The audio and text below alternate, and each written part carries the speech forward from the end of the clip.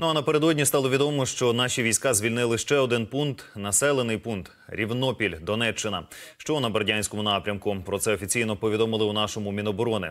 А зробили це бійці 31-ї механізованої бригади. Тепер площа звільнених територій збільшилася. Але до інформації про Рівнопіль Ганна Маляр повідомляла, що загалом з моменту початку наступу звільнена площа на півдні складає 130 квадратних кілометрів. Вона також зазначила, що водночас наші війська на сході наприкінці минулого тижня розпочали контрнаступальні дії в районах Оріхово-Василівки, Бахмута, Богданівки, Ягідного, Кліщіївки та Курдюмівки.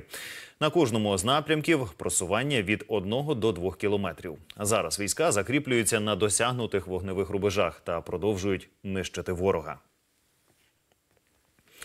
На Мелітопольському напрямку українські війська просунулися в бік противника майже на півтора кілометри. Про це повідомив речник сил оборони Таврійського напрямку Валерій Шершень в етері телемарафону.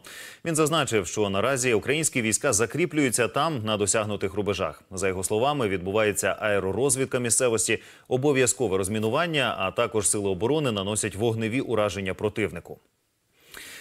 Ну а тим часом про задачу максимум у армії РФ Е, зараз е, власне.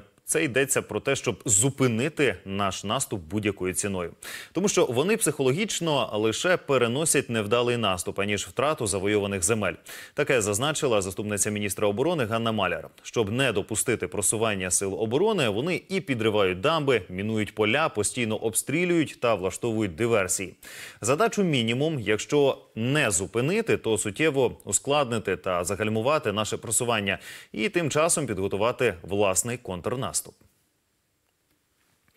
На Куп'янсько-Лиманському напрямку за останній тиждень збільшилася кількість обстрілів по позиціях Нацгвардії понад удвічі. Про це в етері Радіо Свобода повідомив речник Національної гвардії України Руслан.